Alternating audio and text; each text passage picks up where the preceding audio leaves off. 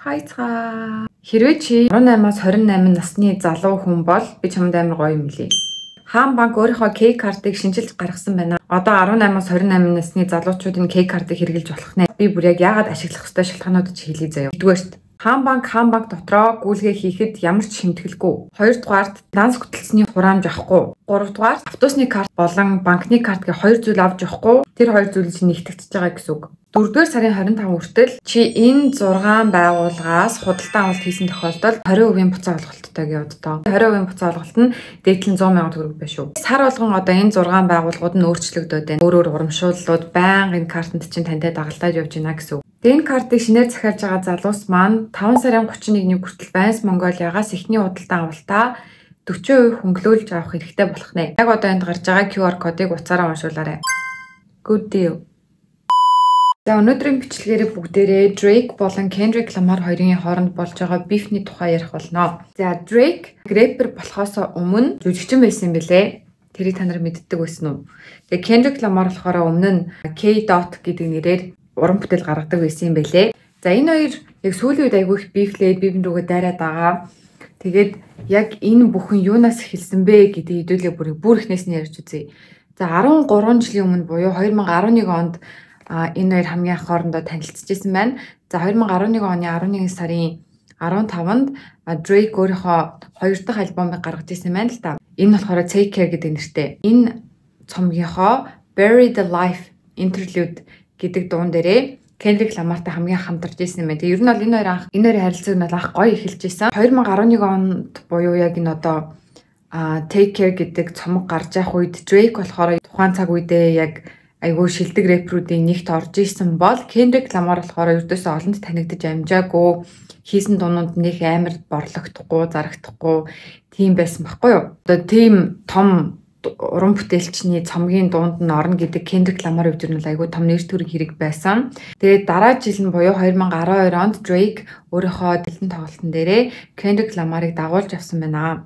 Тэгээд ер нь бол Drake Kendrick Lamar бүр амар их юм ийм хайрыг үзүүлжсэн байгаа. Энэ хоёр маань анх болохоор Торонтод танилцж ирсэн байна. Drake тэгээ Kendrick Lamar ингээ хоёулаа хамтарьяа гэд ингээ ууныхаа самплыг явуулаад за чиг энэ хэсэг дээр өгөх гэдгсэн чинь Kendrick Lamar өөдөөс нь бүр шал шин дуу, шал өөр дуу явуулаад тэгээ тэр дуу Drake-д амар таалагдаад тэгээд ер нь бол Drake тэр дууг нь сонгоод тэгээд одоо анхных нь Bury the Life гэдэг дуу ингээ анх гарч исэн юм байна. За тэгжсэн наа Drake-тэй хамт ингээ аялын тоглолтоор явсны дараа Kendrick Lamar өөрийнхөө хоёр дахь альбомыг гаргасан байхгүй. Эхний альбом нь болохоор ер нь их зарагдаагүй тэгсэнгэсгээ дууссан. Тэгээд Drake-тэй ер нь ингээ дуу гаргаад аялын тоглолтод яваад хоёр дахь альбомыг гаргасан чинь энэ нь бүр маш том амжилтыг олсон. Тэгээ нэр нь болохоор бид бүгдийг мэдэх Good Kid Mad City гэдэг нэртэй ийм цомог байгаа. Нөгөө нэг Man Down, Where You From, Fuck, Who You Know, Where You From, Mine гэдэг нь штэ. Энэ цомог нь бүр маш алдартай болсон. Тэгээд 242 мянган борлуулалт хийснээрээ 2012 онд хамгийн их цомог борлуулсан эрэгтэй артист болж исэн байна тухайн үедээ. За мэдээж Kendrick Lamar-ын хоёр дахь альбомн дээр Drake бас хамтарсан байгаа. За энэ болохоор Poetic Justice гэдэг нэртэй. За тэгээд ер нь бол хэлсэн шүү дээ түрүүний энэ хоёрын харилцаа айгуу гоё эхэлсэн юм эхэлсэн гэдэг. Тэгээд яг Beef болохоор 2013 онд эхэлсэн юм байна. За 2013 оны 8 сард Big Sean гэдэг нэртэй дуучин Control гэдэг нэртэй дуу гаргасан юм байна л да. За энэ дуун дээр нь болохоор Kendrick Lamar хамтарсан. За тэгсэн чинь Kendrick Lamar өөрийнхөө хэсэг дээр олон рэперүүдийн нэрийг дурдаад би энэ хүмүүст хайртай л да. Гэхдээ би эднэрийг ална. Яг murder буюу бүр яг юм аллах үйлдэн гэж хэлсэн байна. Тэгээд тэр дурдсан рэперүүд дунд нь Drake-ийн нэр явж исэн. ASAP Rocky, Drake, Big Sean, Jay Electron, Tyler McMillan. I got love for you all, but I'm trying to murder you. За тэгээд А энэ дуу Control гэдэг нэртэй дуу цацагдсны ер нь бараг 7 хоног орчмын дараа VMA болсон юм байна л та. Тэдсэн чинь VMA дээр Kendrick Lamar, Drake хоёр таарсан гэсэн. Тэсэн чинь Kendrick Lamar өрдөөсөө ингээ Drake-тэй ямар нэг юм beefтэй юм чиг харилцаагүй зүгээр очоо мэдлээ те би андаа би чамд ингээ хайртай шүү мартай шүү гээл те. Ямар ч зэн ингээ айгүй гоё харилцаатай байсан гинэ. Одоо энэ зүгээр л рэп шүү. Өрдөөсөө жихнээсээ юм амар им сүртэй тийм яг жихнээс алан мална гэсэн зүйл өрдөөсөө байгаагүй шүү гэж хэлсэн байна. Тэгээ Drake болохоор тухайд наан заа заа те би өрдөөс уурлаагүй гэж зүгээр ингээл өнгөрөөсөн гэсэн. За тэгжсэн аа нэг 2 3 хоногийн дараа Drake Billboard-д ярилцлага өгсөн байна л да. За тэгсэн чинь тэр ярилцлагын үеэр хөтлөгч нь Drake-с за ингээд Kendrick Lamar юм дуу гаргасан байна. Тэгээд чи одоо энэ дээр юу гэж бодож байна вэ гэд ингээд асуусан юм байна. За тэгээд яг хамгийн анх удаа ингээд Drake яг одоо энэ дуун дээр сэтгэлээ хуваалцсан байна. За надад ер нь бол хэл хэмнэх алга зүгээр л юм амар амбицтай үйлдэл юм шиг санагдсан. Тэгээ боломжийг ашиглаж байгаа тийм үйлдэл шиг санагдсан. Kendrick намайг алахгүй гэдгийг би ер нь маш сайн мэдчихээн намайг энэ дуун дээрээ ч алахгүй ер нь ямар ч платформ дээр намайг алахгүй гэж хэлсэн байна. За тэгээ контрол гэдэг дуу цацагдсны 1 сарын дараа буюу 2013 оны 9 сард Drake өөрийнхөө одоо удахгүй гарах гэж байгаа шинэ цомгоо ингээ промоут хийгээд явж исэн байна л да. За тэгээд тэр цомгонд болохоор Nothing was the same гэдэг цомог.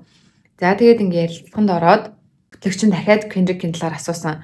За ер нь бол яг ингээд ярилцлаж явах үеэр нь үзэгчд дундаас нэг хүн Kendrick гэд орилж гинэ гэх хөтлөгчөнд тэгж байгаа хгүй. Тэг яг ингээ асуултаа үргэлжлүүлэх гэжсэн чинь Drake хөтлөгчийг зогсоосноо сая хинж Kendrick гэж орилоогүй. Чи зүгээр л толгой дотор Kendrick гэдэг нэрийг сонссон юм шиг байна. Тэг чи баг орой унтахын өмнө ч гэсэн ингээд нэгэн Kendrick гэж орилж байгаа юм шиг чам санагддаг бах та гэж хэлсэн байна. Like someone yelled out Kendrick. It seems like nowadays people want to build Kendrick. Nobody yelled out Kendrick. You just heard that in your head. When you go to sleep, you just hear somebody be like, Kendrick Lamar.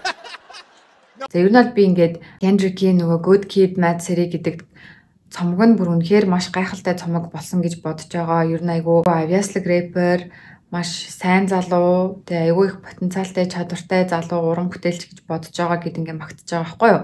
А гэхдээ яг тэр control гэдэг дуун дээр хэлсэн нөгөө нэг би та нарыг алах болно болно гэдэг одоо яг тэр мөрөн дээр болохоор хүмүүс яг энэ л мөрний тухай ярьж байна Ер нь бол энэ яг үрдийн зүйл биш. Тэгээ хүмүүс энийг хизээч за өдөр болгон машиндаа сонсохгүй 10 жилийн дараа ч энэ үг сонсоод байхгүй зүгээр л яг нэг 2 3 хоног 2 3 7 хоног ч юм уу сонсогдоод ингээ хэсэг зуурын зүйл байсан үрдийн зүйл бол байгаагүй. Одоо ингээ хөтлөгчөд сууж байгаа байхгүй юу. Чи тэгээ яг тэр хэсгийнээ юу гэж эхэлтгийг санаж гинөө гэсэн ч хөтлөгч нь санахгүй. Тэр нь бол хүмүүст тэр та нар юу гэж эхэлтгийг санахгүй байгаа биз гэсэн утгаар те энэ дуу угаасаа өөрт сонсогдох хит дуу бишээ гэсэн утгаар ингээ хэлчихэж байгаа байхгүй юу. Are you listening to it now? at this point in time? Uh, okay. But it was it was real cool for like, you know, a couple weeks. But like if I ask you, for example, like how does that verse start? Nah. oh, do you remember? За яг энэ хэсэг мөрний ард ердөөсөө тийм үзен ядалттай жигнэсээ аллах таллах ч юм уу тийм юм а сөрөг зүйл өртөөсөө байгаагүй. Ягаад гэвэл энэ дуу засгсны хэд хоногийн дараа би тэр VM дээр тарсан. Тэгээ бүх зүйл ингээд зүгээрээсэн. Тэгээ ингээд it was all love гэж аахгүй зүгээр бүх зүйл хайраар дүүрэн байсан гэдэг жаа. Тэгснээ Drake тухайд тэгж бодож исэн гэсэн VM дээр тарахтаа.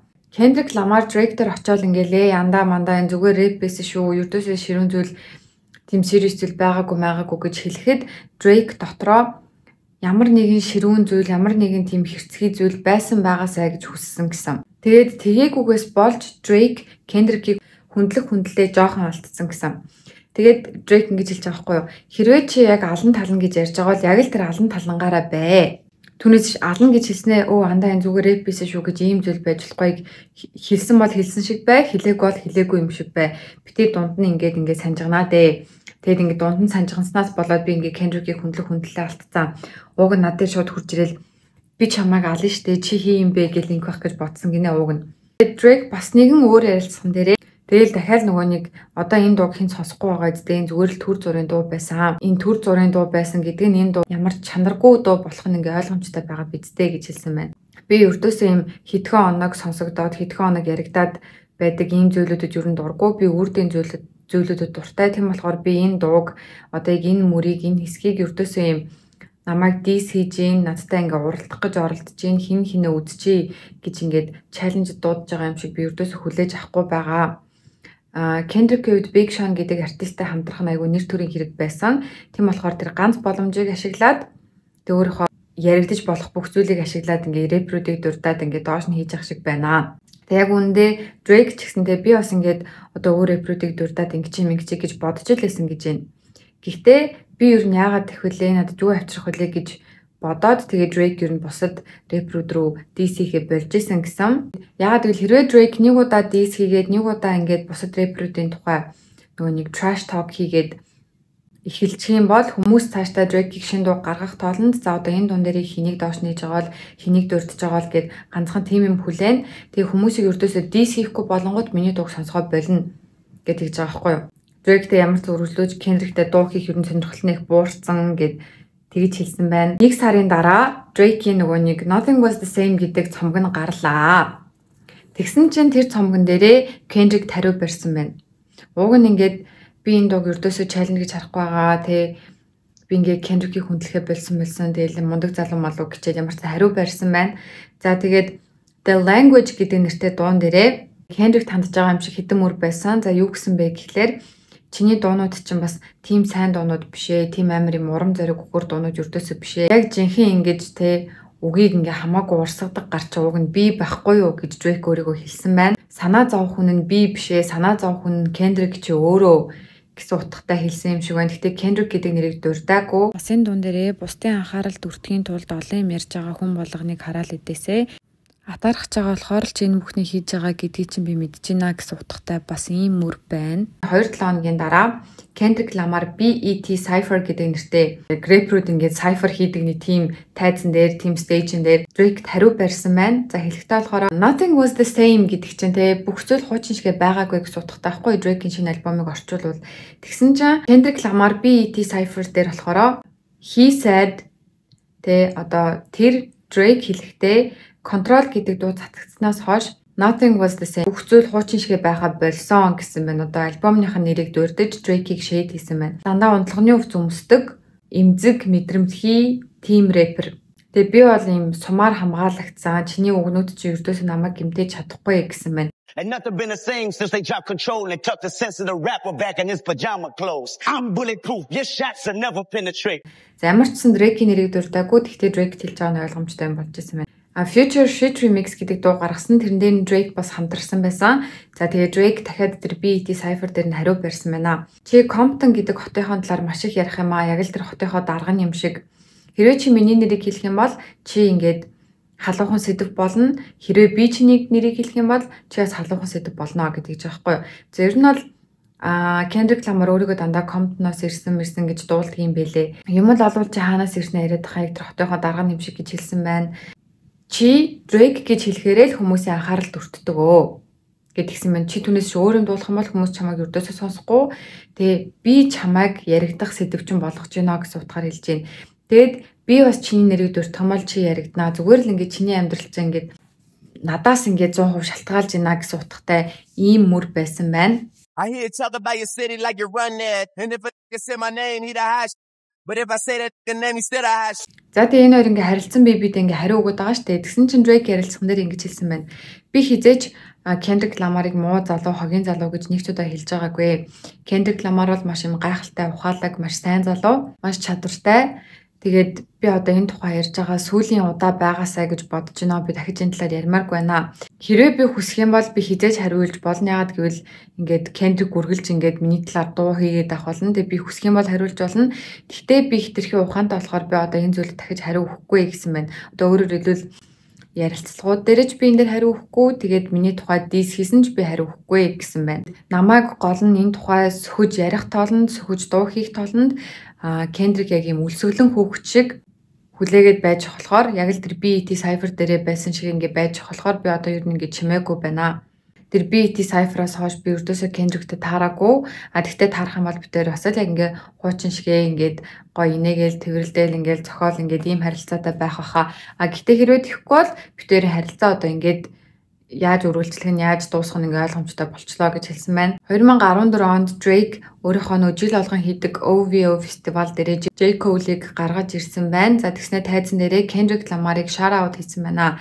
За тэгээд Kendrick Lamar бол амар сайн залуу маш юм аюуллаг уран бүтээж тэг бүгдээ Kendrick Lamar-т ингээ алгад шиг Kendrick Lamar гэж ойрлоо. Kendrick Lamar бол миний хоёр дахь альбом дээр хамтарсан. Энэ тайзан дээр J Cole-тай хамт байх ёстой хүн бас Kendrick Lamar байсан юм шүү гэд ингээд Kendrick Lamar-т ингээ гоё анхаарлыг те ингээ хайрыг ингээ хүндэтгэлийг өгж байгаа байхгүй юу? I want to shout out my Kendrick Lamar. Shout out to Kendrick. I'll tell you something. Kendrick was on my album. We went on tour together. That's one of the hardest alive right there. He's legendary. So shout out to him. He should be standing right there. There's a lot of kings in this.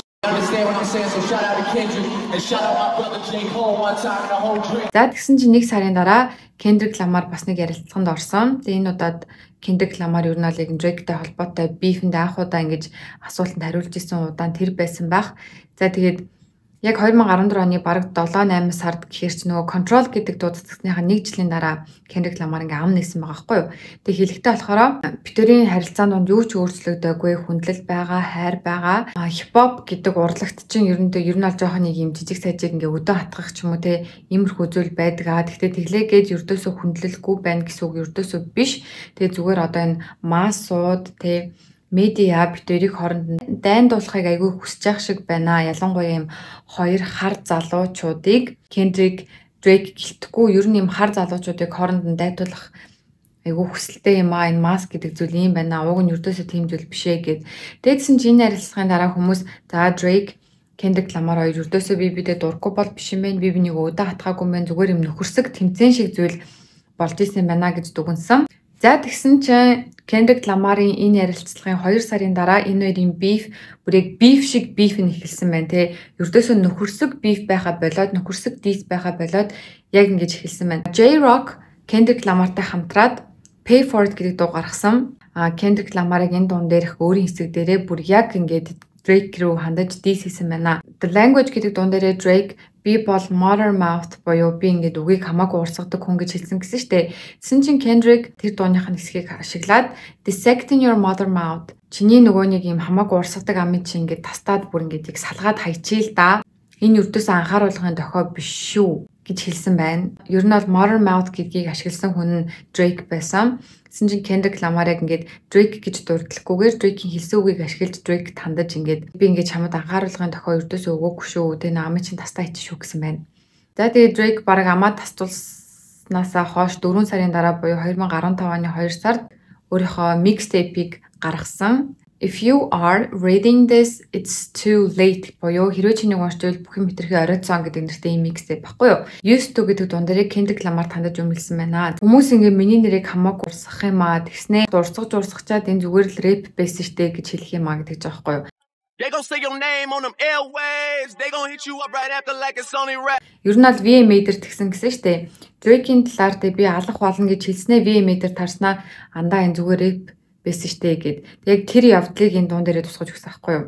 Миний нэрийг дурдж дурдчаад дараа нь таарахаараа зүгээр рэп байсан юм а гэх юм а гэд. Drake-ийг хариу хэлсний 1 сарын дараа 2015 оны 3 сарын 15-нд Kendrick Lamar Pimp a Butterfly гэдэг нэртэй альбом гаргасан. За тэр альбомныхаа King Conta гэдэг дууны хэсгийг бас Drake-д зориулсан байна. Яг энэ 2015 оны 3 сарын үеэр Drake Meek Mill гэдэг одоо рэпертэй ийм бас биф үсгсэн байсан баггүй юу. Тэсэн чи Mick Mill болохоор Drake-ийг ер нь аль чи ингээ өөрөө дууныхаа үгийг бичдэггүй, чиний дууны ч үгийг бичдэг ийм ghost writer буюу гээд арт чи ингээ зүгээр дууны ч үгийг бичээд бэжэдэг тийм хүн байдгаа гэж ингээд дийсэлжсэн баггүй юу. Тэгсэн чинь Kendrick Lamar King Kanta гэдэг дуун дээрээ яг нөгөө Mick Mill-ийн хэлсэн үгийг ашиглаад би бол яг ингээд жинхэнэ дууныхаа үгийг бичдэг хүн харин чи бол дууны ч үгийг бичүүлдэг хүнтэй гэж бас хэлсэн байна. I could dig rapping. Тэгсэн чинь 2 3 сарын дараа Drake хариу барьсан байна. За Drake The Game хоёр хамтраад 100 гэдэг нэртэй дуу гаргасан баггүй юу 100 гэдэг. А Drake ингэж хэлсэн байна. Чи намайг анх дийслэхэд тэгээ би чамд үрдээс хариу бариагүй байсан бол чиний бүх фэнүүд миний фэнүүд болох байсан гэсэн байна. Чамайг шүтдэг хүмүүс намайг шүтдэг болох байсан. Даанч би ингээд өмнөгшгөө Тэгээ тийм замдлыг өгөөгүй чамд хариу барихыг сонгоцсон гэд тиймэрхүү утгатай хэлсэн байна. Чи үнэн төрхөө харууллаа гэсэн мөр бас байсан байна. The game бас Kendrick хандаад чамд дөрөв тусалсан тав дахь туслаагүй болохоор чи ийм хурдан мартаж байгаа мó. Drake надад чамд бити итгэрэй гэж хэлсэн гээд хамгийн анх хамтарч дуу гаргасан, тоглолтоороо дагуулж авсан, зөндөө эн тэндгүү магтаж ярьсан гэдэг тусуудын өрдөөсөө мартаад тэгэд ингэж аашлж байгааг нь хэлсэн юм шиг байна. 2015 оны 8 сард Dr. Dre а Compton гэдэг нэртэй альбом гаргасан. Энэ дээр нь мэдээж Kendrick Lamar хамтарсан байгаа. Тэгээ Kendrick Lamar энэ дуун дээр болохоор Drake бол түүний өрсөлдөгч. Тэгээд өрсөлдөгч нь түүнд ингээд цэнэг цэнэглэж өгч гинэ, ингээ энерги өгч гинэ гэж хэлсэн байна. Тэгэд би одоо яг ингэж яг fight буюу яг ингэж үзхийг чамтай ингэж үзэлцгийг хүсэж байна гэж хэлсэн байна. Гэтэ Drake гэдэг нэрийг оруулаагүйгээр ингээд beef-ийн түр ингээд намжаа. Тэгээ бараг жилийн дараа буюу 2016 онд DJ Khaled болон Drake хамтраад а for free гэдэг нэртэй дуу гаргасан. За тэгээ энэ дуун дээр болохоор яг Kendrick тандж байгаа нэг мөр байдаг. Ямар мөр вэ гэхлээр 2014 онд Kendrick Lamar дуун дээрээ тэгээ энэ эргэтэн бол ингээд юрдөөсөө ингээ үнэгүй зүйл биш шүү гэж дуулж исэн юм байна л да. Тэсэн чинь нөгөө DJ Khaled-тай хамтарсан дуун дээрээ Drake болохоор танаа нөгөө Compton-гоос ирсэн залуучаа энэ эргэтэн үнгүй биш гэж дуулд штэ гэж ингэж бас хариу барьсан байна, өдөө хатгсан байна.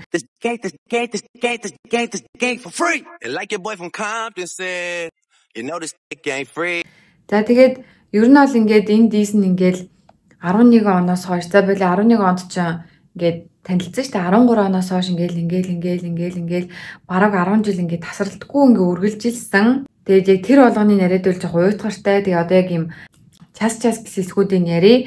За 2017 онд Kendrick Lamar өөрийнхөө Damn гэдэг нэртэй альбомыг гаргаж ирсэн. За тэгээ энэ альбом дээр Element гэдэг нэртэй дуу байдаг. За тэгээ энэ дуун дээр болохоор Drake тандаж хэлсэн үг байдаг баггүй юу? За тэр нь ч яах вэ заяа. Тэгэд Element гэдэг дууны яг ориг хувилбар нь гэдэг ингээ хулгай цацагдсан leaked version байдаг. Тэсэн чинь тэрэн дээрээ яг албан ёсоор цацсан хувилбар дээрээ Drake гэж үрдээс дурдаагүй. Тэсэн чинь нөгөө хулгай цацгдсан ориг анхны хувилбар дээрээ Drake гэдэг нэр дурдсан хэсэг нь байдаг. За тэсэн чинь тэрэн дээр юу гэж дурдсан бэ гэхээр нөгөө нэг Drake, Meek Mill the Beef Days гэсэн шүү дээ. Тэгээ Meek Mill Drake-ийг чи ингээд чиний үгийг бичдэг хүнтэй мүнтэй гэсэн чинь Kendrick Lamar нөгөө нэг Element гэдэг дуун дээрээ Drake Meek Mill хоёрын ингээд beef зүгээр чамайг ингээ амар уурж үргдэг ингээ те ямар ч сэтгэл санаагч ингээ өдөөдөг бол би бол чамайг бүр байхгүй болгоно гэж хэлсэн байна. Би бол мангас миг мэлтэй би хүсгэж зүгээр сэтгэл санаараагаар унах бол чи надтай би хүсгүүлж зүгээр ингэ байхгүй бол нүхэн гэдэг ч аахгүй.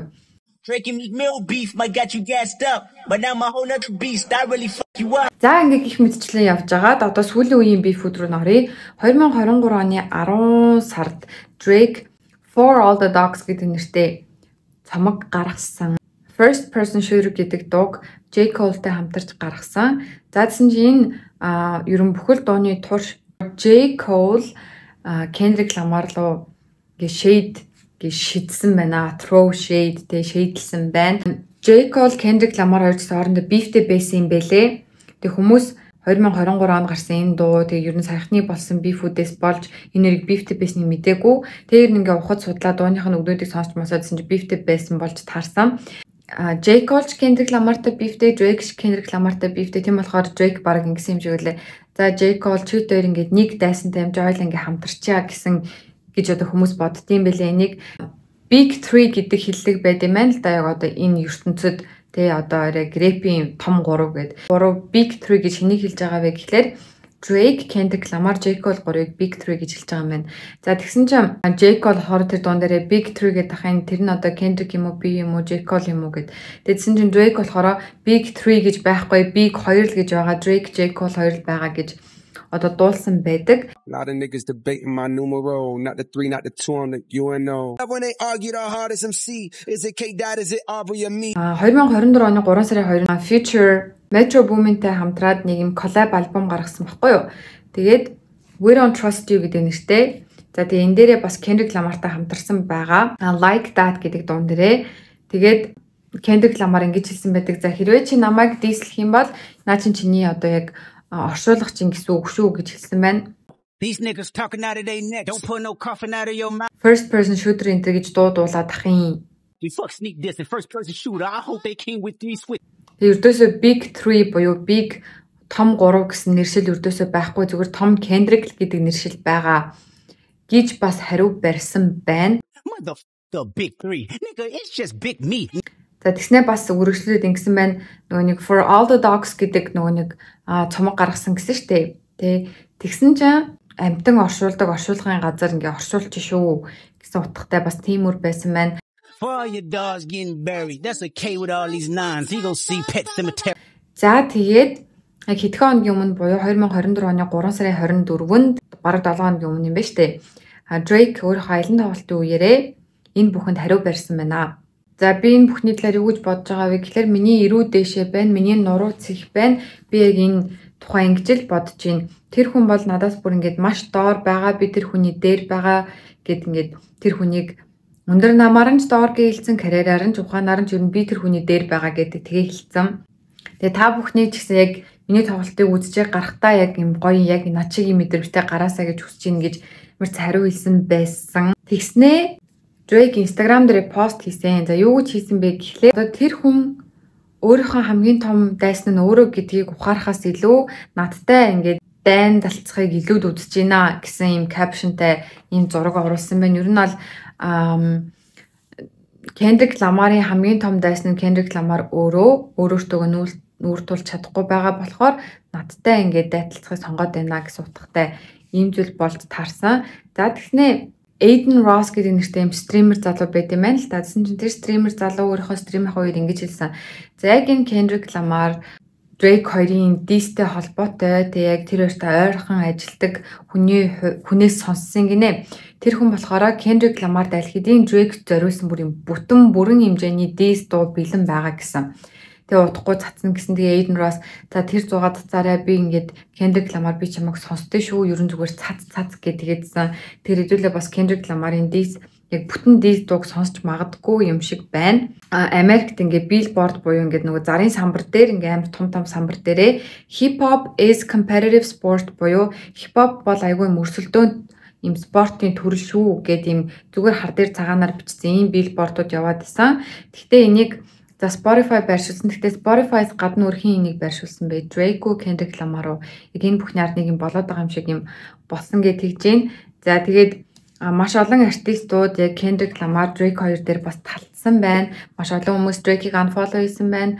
Аа маш олон хүмүүс Kendrick Lamar-ыг unfollow хийсэн байна. Бүр яг ингээд яг энэ хипхоп урлаг яг ингээд хоёр тишийг ингээд хуваагдаад яг маш том юм талцаан болоод байна гэж тэгж байна. Та нарын бодлоор хэн илүү вэ? Drake уу, Kendrick Lamar уу? Kendrick гоё штэ. Drake ч гэсэн гоё.